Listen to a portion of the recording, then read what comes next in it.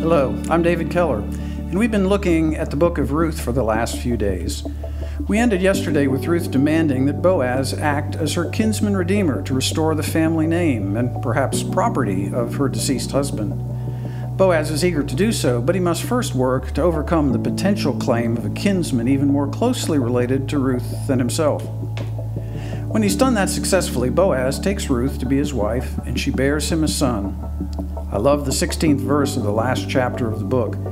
Naomi took the child, held him close, and took care of him. This is the Naomi who earlier had said, Don't call me Naomi, call me Mara, bitter.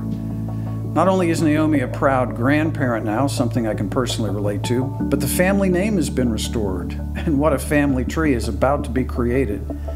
They name the baby Obed. He'll eventually have a son, Jesse, who in turn will eventually have another son, David. And that's the David who will not only be the great king of Israel, but an ancestor of Jesus of Nazareth, the Christ.